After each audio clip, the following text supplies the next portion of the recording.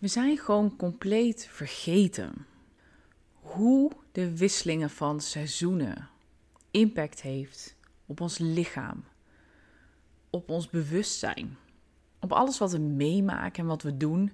We zijn zo geconditioneerd dat alles constant maar door blijft gaan.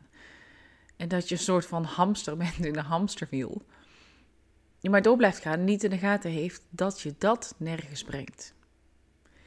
In deze podcast wil ik je uitleggen waarom het zo belangrijk is om je bewust te worden van die overgang van het zomer naar het herfstseizoen. En welke shifts er dan plaatsvinden en hoe je ook van de natuur kunt leren om dat in je eigen leven te gaan implementeren op een hele simpele en eenvoudige manier.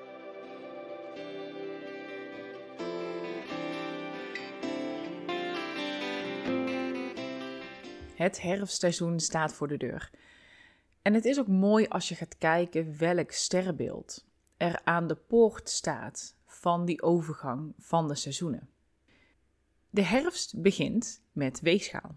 En weegschaal is het teken van balans, van harmonie, van gelijkheid. En een weegschaal is letterlijk het in balans brengen.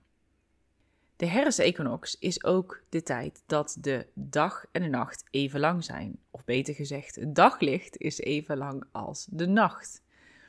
En hoe mooi is het dat de dag en nacht in balans zijn die dag. Als een soort van reset. Een pauzemoment. Wacht, stop. Vanaf nu gaat het nog donkerder worden. De nachten worden langer dan de dag. En hoe kunnen we die beweging naar meer donker, ja, ik wilde zeggen donkerte, maar meer schaduw, ook in ons leven en ons business gebruiken? De afgelopen jaren zie je steeds meer bewustzijn. En dat juich ik ontzettend toe naar die overgangen, naar het volgen van die natuurlijke cyclus. En dit is niet iets totaal nieuws, maar het is het op een nieuwe manier gebruiken. Duizenden jaren geleden was deze punten, deze ankerpunten in onze kalender, of eigenlijk bestond het ook niet eens een kalender, maar de ankerpunten in hoe de maan en de zon zich bewogen met elkaar, waren heel belangrijk. En mensen konden daarop precies aflezen wat er ging gebeuren, welke fase eraan ging komen, en die paste zich daar volledig op aan. Nou zijn we tegenwoordig niet meer afhankelijk van het zonlicht om ons licht te bieden als het donker is, want we hebben elektriciteit. We zijn niet meer zo afhankelijk van de zon en de maan. Of in ieder geval niet in onze dagelijkse voorzieningen. En daardoor is ons begrip over de cyclussen en de maan en de zon zijn zo ver van ons verwijderd. En het kost daarom ook moeite om jezelf daar meer op in te leven. De afgelopen jaren ben ik steeds meer gaan schaven en gaan experimenteren. Maar wat betekenen die overgangen nu? En wat betekent nu dat we de herfstseizoen ingaan? En een heel simpel voorbeeld is gewoon letterlijk naar de natuur kijken. De bomen laten hun bladeren los, keren langzaam naar binnen, zijn niet meer gefocust op groeien, op groter worden, bloemen produceren een aantal dagen later. Maar ik ben geen botanicus, dus ik weet niet precies. Maar over het algemeen, de meeste bomen en de meeste planten laten nu hun bladeren los, gaan geen nieuwe bloemen meer vormen en zijn nu bezig met het afbouwen. Als je dan kijkt naar de winter, is een fase waarop alles lijkt dat het dood is. Het groeit niet, er is geen groen, er zijn niet echt tekenen van leven. En toch is die constante pulsering die energie die eronder zit, is nog steeds aanwezig. In de online wereld is nu ook een soort van search aan de gang dat iedereen nu moet knallen, finish strong. De laatste maanden van het jaar, wat wil jij er nog uithalen? Wat wil jij nog bereiken? Oeh, slow down.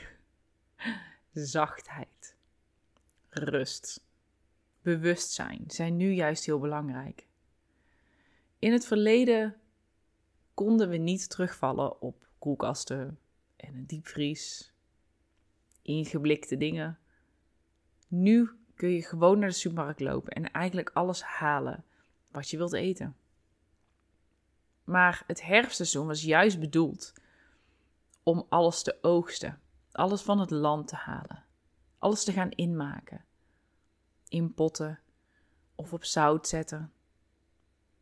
De mensen waren heel bewust bezig met die overgang en dat hebben we nu niet meer nodig, maar energetisch gaan we nog steeds die overgang in. En ik zie het ook bij mijn klanten in hun bedrijven.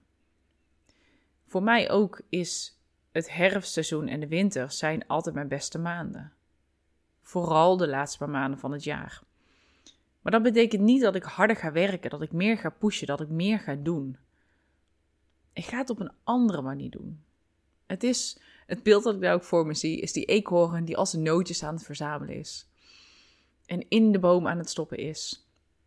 Zich aan het voorbereiden is. Het lichaam van het dier verandert ook. Maar ook het lichaam van ons als mensen verandert. Zodra het weer kouder wordt, gaan we meer vet opslaan. Dat hebben we nodig om warm te blijven. En ja, we hebben tegenwoordig huizen en kleding dat ons warm houdt. Maar ons lichaam is nog steeds aan het veranderen. En daar kunnen we tegen protesteren en we kunnen het gaan wegsporten of, of nog strenger dieet gaan zetten. Maar dan ga je in tegen je natuur. En ik wil niet zeggen dat je vervolgens ook meteen heel veel moet gaan aankomen en vet moet gaan opslaan. Maar het is een natuurlijk proces. En hoe meer we ons die natuurlijke processen kunnen overgeven in ons bedrijf, in ons leven, hoe fijner het ook gaat worden voor je. Een belangrijkste overgang naar de herfst is ook het afstoten, het evalueren. We zitten nog midden in een Mercurius retrograde. Dus het is een onwijs mooie tijd om nu dingen te gaan afstoten, te gaan loslaten. Of juist plannen maken om bepaalde structuren op te zetten, zodat het straks in de herfst, in het midden van de herfst, makkelijker voor je gaat worden om actie te blijven ondernemen. Omdat je precies weet waar je prioriteiten liggen. We zitten nog net in maagseizoen. Als de herfstequinox is het moment dat de zon naar weegschaal gaat. Maar we hebben nog wel Mercurius die nog in maagd retrograde gaat. Staat nu nog in weegschaal en gaat terug naar maagd. Maagd is van de details, van het plannen, van het uitzoeken. En het is juist zo'n mooie tijd om dit nog te gaan doen. Om jezelf bewust te maken. En maak ook een ritueel en Betrek je kinderen daarbij. Laat zien hoe die overgang is. Steek een kaars aan, verzamel bladeren. En een stukje dankbaarheid van wat de zomer jou gebracht heeft. De overvloedige oogst. Het lekkere fruit dat je hebt kunnen eten. De zon waar je intens van hebt kunnen genieten. Want laten we eerlijk zijn, we hebben een prachtige zomer gehad. En hoe kun je daar dankbaar voor zijn? En met dankbaarheid afsluiten en vervolgens kijken, maar hoe ga ik nu de herfst in? En zoals ik al zei, de herfstequinox is het moment dat de zon, uh, sorry, de dag en de nacht even lang zijn. Het is precies gebalanceerd. En hoe ga je vanaf dat punt verder?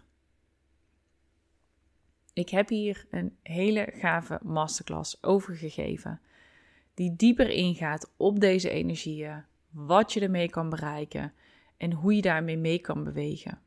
En hoe belangrijk het ook is om jezelf open te stellen, om mee te bewegen met deze natuurlijke cyclus.